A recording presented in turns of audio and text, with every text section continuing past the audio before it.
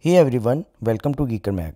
In today's video, I am going to share a quick solution using which you can fix performance issues in Dragon's Dogma 2.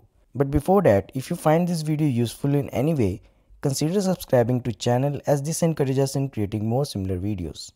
According to various reports from users, while playing the game, users experiencing performance issues like low FPS, stuttering, lag and general slowdowns which make the gaming experience worst.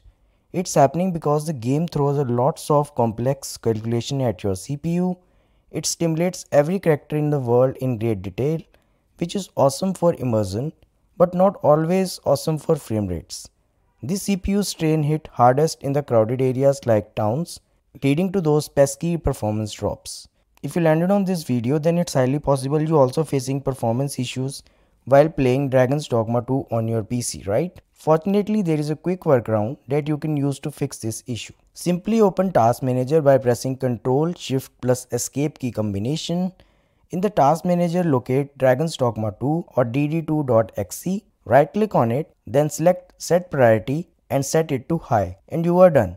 You won't believe that this simple tweak has helped lots of users and it's possible that it will help you as well. But consider it as a temporary solution as it's possible that this will reset automatically when you close the game. In case you want to make the game priority to high permanently, then apply this registry hack suggested here. I will add the link in the description. If you have any tips of your own for battling performance issues in Dragon's Dogma 2, leave a comment below. So that's all about this video. If you find this video useful, don't forget to like this video and subscribe the channel for getting notifications about more similar videos. Thanks for watching.